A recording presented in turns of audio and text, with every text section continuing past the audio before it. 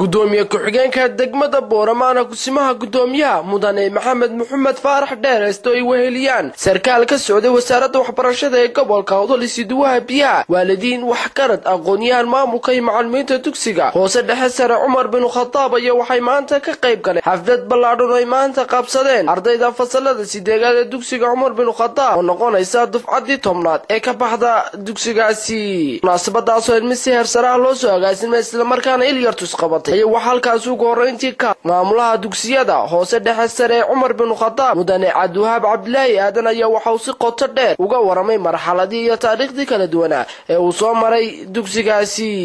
Ujeeddada xafladan aan ka leenahay waxa weeyaan xafladani waa mid sanadkiiba mar aanu qabanno oo dugsiga hoose dhexe sare ee cumar binu khadaab uu sameeyo.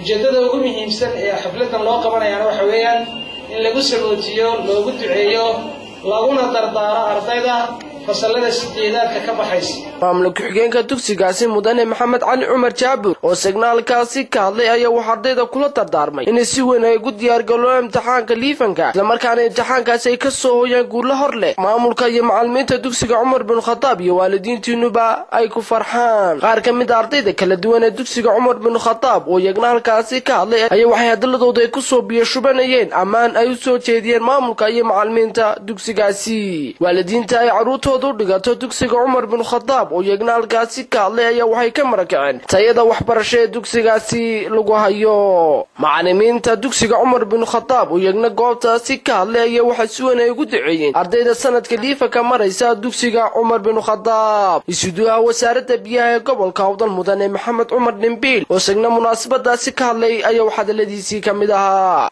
Maanta halkan quruxda ka muuqata iyo dadaalka. maamulka iyo ardaydu bay sameeyeen aad baan ugu faraxsan nahay waxaan leeyahay ardada fasalka sideedaad ka baxaysa. Imtixaankii weli maydaan gelin dadaal baa idiin dhiman.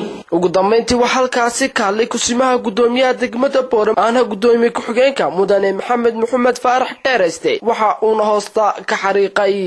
Waxaan leenahay mar walba waa nila garab joognaa wixii dadaala wixii aad nooga baahataan macalimiinta waxaa la taabanayaa inuu iskuulku yahay bilaadhul wixii baahiyaadkooga ah waxaa waajiba inay degmada u soo gudbiyaan si aan uga caawinno wixii karaankayaga ah.